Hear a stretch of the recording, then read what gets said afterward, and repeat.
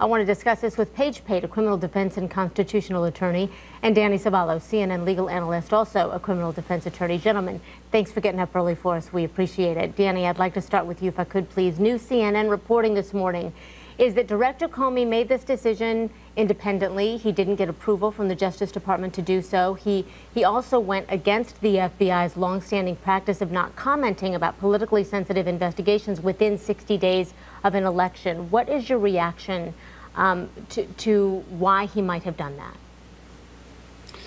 The why I can't be sure, but one thing is for sure this is an unusual, unconventional investigation by the federal government anyone who practices federal criminal defense will tell you that this is not the way they typically investigate criminal activity. Most people who are the suspect of a federal investigation sometimes or usually never even learn that they're the subject until they're indicted or until the statute of limitations expires. That's when they can comfortably feel like they will not uh, face prosecution for whatever they're being investigated for. So, so Danny, this is a very non-traditional approach, both in his earlier announcement that no charges would be filed, and for that very specific reason, uh, the director now finds himself in the position of possibly reopening something that he previously said was a done deal. All right, Page, I want to go to you now. You've been saying from the beginning that the investigation into this could have been handled differently. How so? Well, it's amazing to me that we have the FBI director making the final decision on whether or not Secretary Clinton was going to be prosecuted.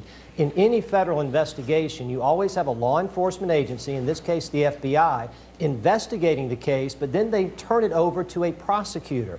And what happened here is after the FBI completed their investigation, they were ready to turn it over to the Attorney General, but she washed her hands of it, said, I'm not going to make this decision, I'm going to leave it to the FBI. And even though everyone has given uh, Director Comey, at least up until now, a lot of credit for being independent and having uh, unimpeachable character, he is still an employee of the Department of Justice. He still works for the Attorney General. So I think a special prosecutor should have been appointed at the very beginning of this investigation so we at least had a prosecutor for the FBI to turn the case over to. Could one be uh, appointed now, or is sure. it too late? Uh, no, one could still be appointed now, but I don't know how they finish or complete this investigation before the election. I mean, we're 10 days out at this point, and it sounds like there are thousands of emails to review. So uh, perhaps it's too late, uh, at least to get it done before the, the, election is over with. Right, and sources say there are thousands of emails uh, to go through. The director, uh, Comey, Danny says uh, that the FBI cannot yet assess whether or not the material may be significant, but the fact that he is releasing this 10 days prior to the election, does that give you an indication or any sense that there is something in these emails that, that could be very damning for Hillary Clinton?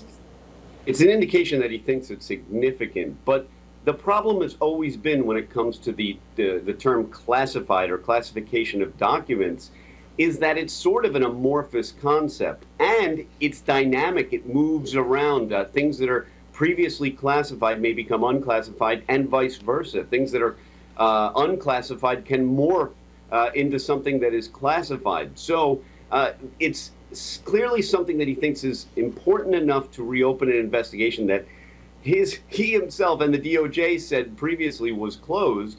Uh, so there, it may be out of an abundance of caution. He's keeping his options open. Again, the strange part is is that they have closed off a lot of their options by announcing no prosecution in the past. I've got 10 seconds, Page. Uh, Paul Callan says that Comey should resign. Do you agree?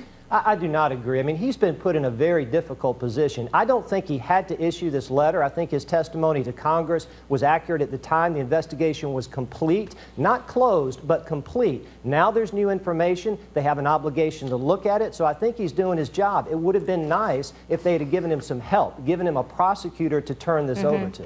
All right. Page Pate, Danny Cevallos, we appreciate seeing both of you. Thank you so much. Thank we'll you.